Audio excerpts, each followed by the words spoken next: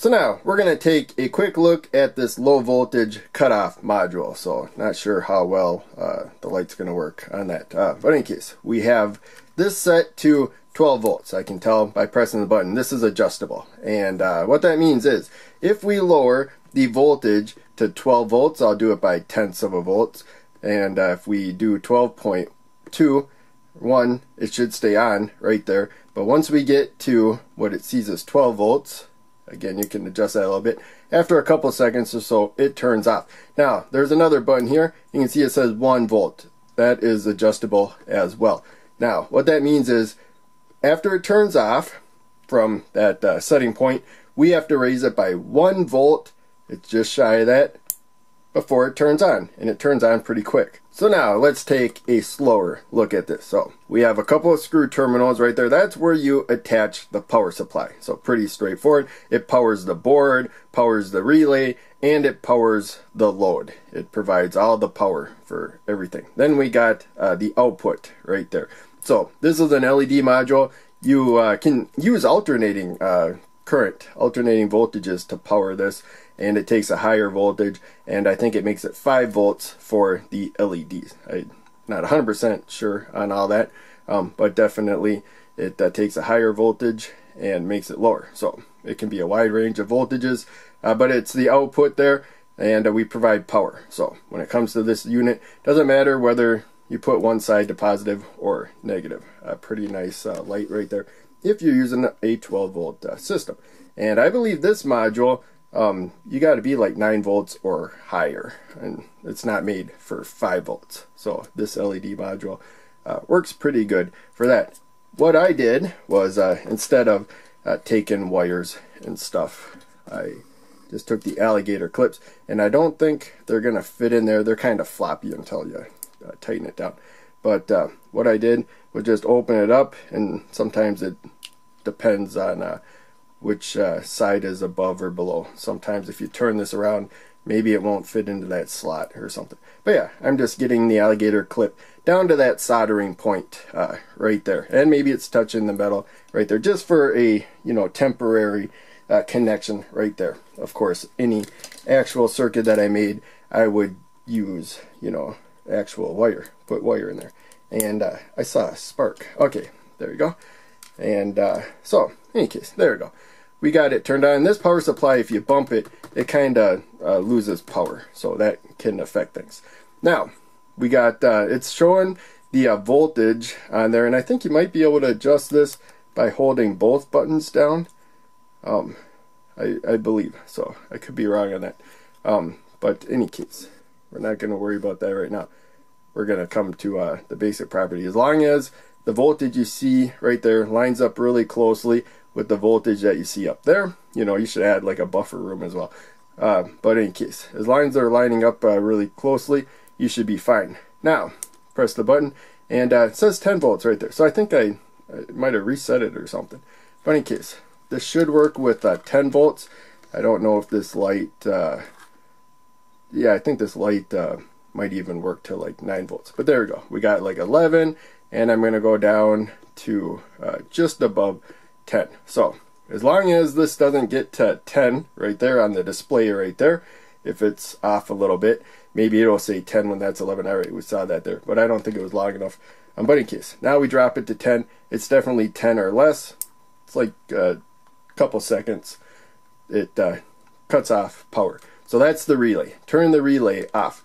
And we got about 20 milliamps of current. Um, that's probably all uh, the LEDs right there. Vast majority of the power being the LEDs. So if you're using a battery, um, you know, you shouldn't uh, leave this like attached forever without uh, charging the battery, especially if it's at like 10 volts. It's in a lithium iron phosphate battery. Um, but uh, any case, you know, you're not using much current right there. A battery is going to drain extremely slowly, whereas when you have a load, it's going to take a lot longer to drain. So let's adjust, um, and it, I kind of lost the connection right there. Let's adjust that voltage where it shuts off. So we just saw it was 10, and um, I think maybe it reset when I held both buttons. Uh, but in case, let's go to, uh, you know, 13 volts. This LED module can easily handle 13 volts. So yeah, you got to hit it a bunch of times, and uh, I think that was for me bumping the power supply, and it didn't save it. So let's hold the button down. It should go up quickly. So don't want to go up that high though. Um, so yeah, that's really quick.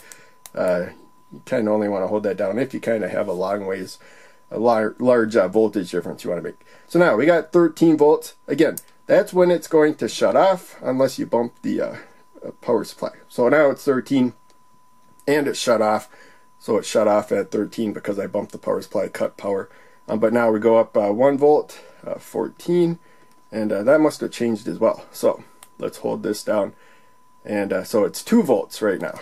So actually, let's go, uh, I don't think it'll turn on now until it's done. There we go. It went up 2 volts, and it lit up right there.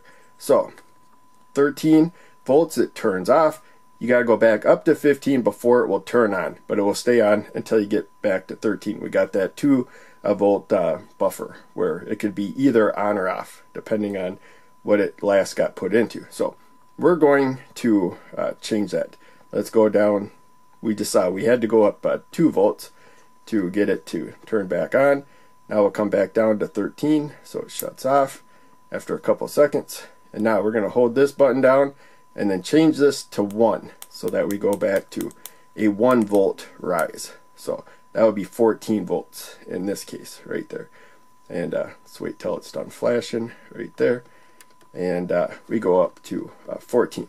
So I haven't done this in a long time. And uh, there we go. That actually has to show like 14. Um, but now it'll like drift, wobble around and it won't turn off because it's nowhere near dropping like one volt. That's why you have that little buffer there. You don't want kind of a small area where a slight voltage change will turn it on and off. That's uh, very annoying. Um, you want it to be able to have a buffer zone. That's what I was talking about uh, before, where you need a significant voltage change before it either flips from off to on or on to off. Um, in a lot of circuits, that's called hysteresis. You know, if you hear of Schmitt triggers, um, that's what this basically is, a Schmitt trigger, unless you set it to uh, 0 volts. So I uh, think you can do that. Let's set it down to uh, 0 volts.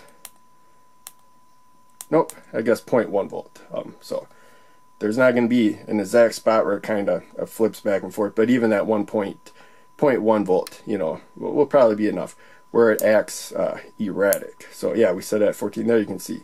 Um, but if I bump the power supply kind of lose power. It, it goes down. Um, so in any case, you know, add at least a volt, but you know, it all depends on your particular situation. It's for protecting batteries. That's the uh, main thing. And um, read, you know, when you buy these modules, read all the instructions. Um, so I think I reset it by holding the two of them, and um, you know, I I'm pretty satisfied with this video right now. I'm not gonna go through the instructions and uh, uh, try to figure everything out again. I got the basics on there. It's uh, pretty straightforward, and um, you know, so I'm not gonna uh, spend the extra time. I think this was uh, plenty fine. But yeah, that's all you gotta do. Wire down the power source, wire down your load, set the voltage that you don't usually you use a battery. You know, you there's no reason to have it for a power supply other than testing it out. It's very easy to quickly change the voltages. But uh, those voltages are important for battery. If you have a 12 volt lithium iron phosphate battery, 12 volts is kind of where you want to stop uh, using it. The battery will still be okay if, if it's a 12 volt, which is actually 12.8 volts. Half the time it's higher than 12.8, half the time it's lower than 12.8 if you fully charge it and discharge it. Um, but if you get below 10 volts for one of those batteries, uh, you're starting to risk damaging it. Um, if you hit 10 volts, you know, it's probably not damaged at all, but charge it right away. If it drops further than that, there's a good chance it can be uh, damaged. Um, but at uh, 12 volts, that's kind of when it's delivered most of its stored power. There's uh, not a ton of power left between 12 and 10 volts, so it's a good time to cut power if it drops to 12 volts. And then you got that 2 volt uh, buffer there where if it drains a little bit over time, remember this uses 20 milliamps of current, not much for a large battery, um, but it is some. So um, at that 12 volts, it'll probably take forever, um, almost forever, for this to drain it from 12 to 10 volts. And uh, so you got that buffer there. Be aware of that. But uh, any case, um, that's really about it. So uh, thanks for watching. Hope you enjoyed. Make sure you check out one of the other videos that posted on the screen and check out links down below. They all help out a lot. I'll see you in the next video.